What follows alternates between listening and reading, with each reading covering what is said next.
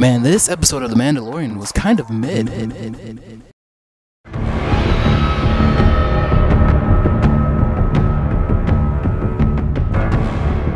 I agree. It's kind of like they're using the Mandalorian franchise as a way to hop off and make other lesser plot lines and lesser shows that the creators are actually interested in. Yeah, basically, I feel like them switching to Pershing in the middle of the episode while I'm engaged in the Bo Katan Mandalorian storyline is kind of dumb.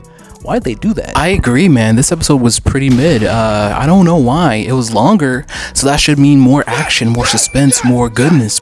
But it sucked. No! No! No! In fact, I have something shocking to tell you. I believe that The Mandalorian kind of sucks now, and that Disney Star Wars as a whole kind of really is trash. Reason is, basically, Disney Star Wars, other than the Clone Wars and Rebels, has not produced anything that is worthy of watching. I would say Mandalorian Season 1 and Season 2 are worthy of watching, but aside from that, there is nothing else worth watching. Bad Batch, boring. Boba Fett, boring. Rogue One, that's actually pretty lit. I, I changed my mind on that. Rogue One's pretty lit. Han Solo, mediocre. The sequel trilogies flopped critically, pretty badly. So now Disney Star Wars is in a place where people are less excited than ever. Even Kenobi flopped. Hello there. Andor is a secret sleeper hit, but no one's really gonna shell out more money for Andor because no one even really cared to watch Andor because Star Wars fans were so disenfranchised from the sequel trilogy and a bunch of other Star Wars properties that were kind of meh or straight up bad that no one's willing to spend money on this product anymore. So the Mandalorian, they have to use the Mandalorian or Din Djarin every single time that they want to push a new storyline, but every single time it's a storyline no one wants to watch. They flopped Boba Fett. They dropped that ball. They flopped Kenobi. They dropped that ball hard too. So I don't trust the Disney Star Wars writers to write anything worth my time. It's pathetic, really. Super duper sad. Dang, dude, you just went on a one minute rant talking about how much you don't like Disney Star Wars. How about we stay objective and try to talk about the episode? Yep, sorry, my bad. Kathleen Kennedy just gets under my skin so much. Not in a hateful way. This is the way. This is the way. This is the way. So the episode starts off the strongest with Mando and Bo Katan basically escaping Mandalore after seeing the Mythosaurus, well, at least Bo Katan did, and then traveling back to her fortress, only to find it under attack by a bunch of Imperials who are bombing her freaking castle.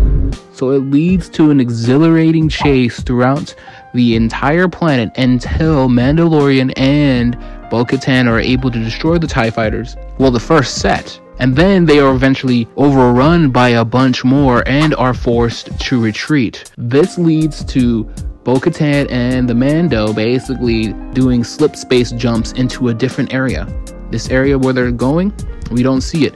Instead, we transition to my opinion, the worst part of the episode. Oh, brother, this guy stinks! Pershing. Now, Pershing I actually really don't like watching his character. His character is so uninteresting to watch because he's so weak. And what I mean by that is that he's not really conflicted. He's not a strong character to follow. He's always either being bullied into doing something or being manipulated. And yes, you see him in the New Republic Hall basically talking about, oh, I'm sorry for creating monstrosities under the Empire. Please forgive me. And then they forgive him because they want to use his scientific talents for themselves. However, because of the fact that the New Republic kind of sucks, it also makes this hard to watch too. And then the New Republic is now demilitarized. They don't have any plans to like, you know, restore order to the galaxy or make it a whole democracy or extend their reach. Instead, they're just content with letting Imperial remnants build up their forces and eventually destroy them.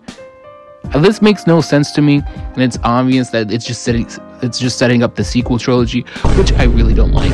I don't like the sequel trilogy. I'm pretty sure everyone doesn't like the sequel trilogy, but they have to run with the sequel trilogy because they wasted a billion dollars on that series of movies and they have to run with it. There's no redoing it. That is just Star Wars looking forward. And they're not releasing any tie in materials that are interesting or make me want to care about the character. So, if I'm being honest, this episode was a hard pass. Not because it's connected to the sequels, but also Pershing is just kind of a weak character and then his moral debate of wanting to create clones or not just seems so weak to me and uninteresting. So I give this episode a 5 out of 10, which is really disappointing considering that the other episode was super hype. I was always intrigued and I was always wanting a longer episode that's filled with more action. But they did that by removing Bo Katan and The Mandalorian, which is dumb in my opinion, but that's show business, I guess.